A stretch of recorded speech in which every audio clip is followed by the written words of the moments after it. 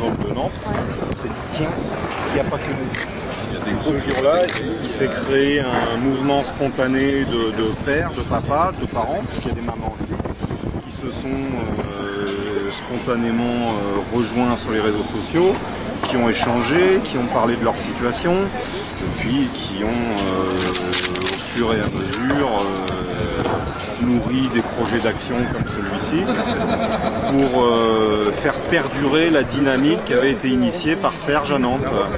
Et tout- là, on s'inscrit dans la durée, c'est-à-dire que ce genre d'action, on, on a été très clair avec les pouvoirs publics, on n'est pas violent, on est là pour revendiquer un droit d'amour, tout simplement, mais on va insister, c'est-à-dire qu'on renouvellera ce genre d'action autant qu'il le faudra, jusqu'à ce que les pouvoirs publics nous entendent et jusqu'à ce que la justice daigne descendre de son piédestal, qu'elle arrête deux minutes de s'occuper de son mur des cons et qu'elle vienne, de nous, vienne nous entendre un petit peu, qu'elle vienne entendre notre souffrance, tout simplement. Hier, euh, Serge, il était tout seul. Ensuite, il y a eu Olivier.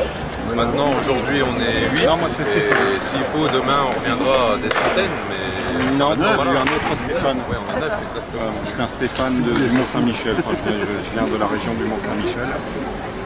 Je suis papa de cinq enfants qui résident dans l'Aude avec leur maman. Alors il y a un phénomène aussi qui est très très répandu et qui est banalisé, c'est l'éloignement géographique. C'est-à-dire que de nombreux papas sont volontairement éloignés de leur maman, de leurs enfants par la maman. Moi c'est 850 km. On a le cas d'un papa dont la maman était partie à l'autre bout du monde, donc il y a une cassure du lien. Ça, ça fait partie des choses que nous dénonçons, d'autant plus que c'est euh, validé par la justice aux affaires familiales, qui a tout intérêt à faire perdurer les conflits, à faire traîner les procédures, parce que derrière tout ça, bah, il n'y a ni plus ni moins qu'un business, le business de la justice euh, aux affaires familiales, génère un chiffre d'affaires colossal et qui profite très clairement aux avocats. hein. Oui, mais alors c'est les juges hein, qui prennent les décisions. Parce que les juges là-dedans, ils gagnent pas de sous. Nous dénonçons très clairement la connivence entre les juges et les, et les avocats. C'est, euh, euh, un magistrat avait clairement dit à un responsable d'association un jour, vous nous retirez le pain de la bouche. Après, euh, je laisse à ce magistrat le soin d'expliquer son propos, mais pour nous, il y a, une réelle volonté de discriminer les papas, puisqu'aujourd'hui, il y a 77% de résidence des enfants accordés aux mamans, pour seulement 8% au papa et 15% en résidence alternée. Donc l'égalité républicaine, là-dedans, je la cherche. L'égalité que prévoit la Convention internationale des droits de l'enfant, je la cherche. Euh, en revanche, là, je constate une discrimination en violation de la Convention européenne des droits de l'homme et des libertés fondamentales. Tout ça, ce sont des droits fondamentaux qui sont bafoués par la justice aux affaires familiales.